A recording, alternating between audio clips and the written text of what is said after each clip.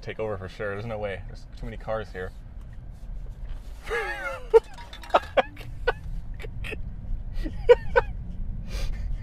okay, I don't know if those cars weren't there, maybe, but that freaked me out.